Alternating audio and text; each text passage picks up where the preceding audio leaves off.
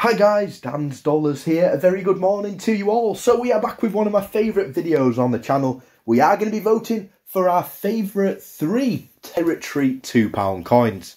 Now in the past we've done a lot of 50p voting, whether it's been from the Beatrix Potters, our favourite Paddington Bears, and everything else in between, even those common 50p coins as well, just worth the face values of 50 pence.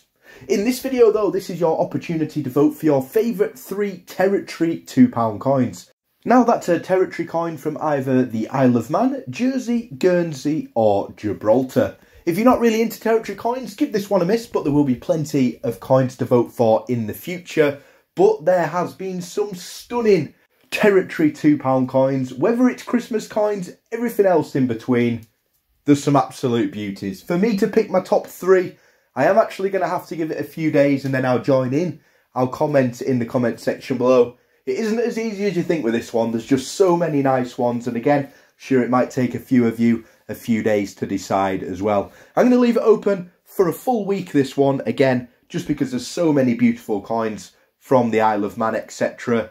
Comment your favourite three, your first favourite in the comment section below, number one, your second, and then your third favourite, number three. I'm going to give three points to your favourite overall, two points to second, one point for third. I'll add all of the points up from everybody's comments and then we'll go through our top five favourites together.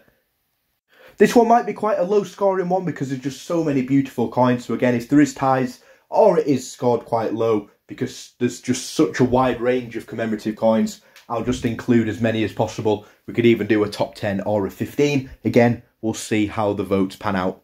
Finally then, a huge shout out to Andy Vickers for picking this category and again, when we do the results in one week's time, I'll leave the comment section open there for someone else from the community to pick the next category. Have a lovely day, everyone. Stay safe. And as always, guys, thanks for watching.